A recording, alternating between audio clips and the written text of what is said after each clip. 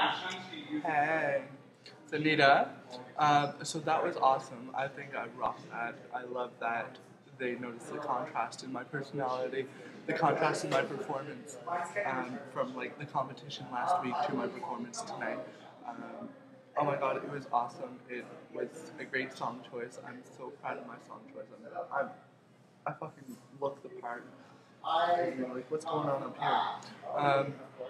I love that I was able to be different in the sense that, you know, I, I went with a more androgynous, I, no wig, not even heels. No heels, girl. And I hope that they really see that as me growing as a performer, and I'm so excited. I really hope I'm here next week.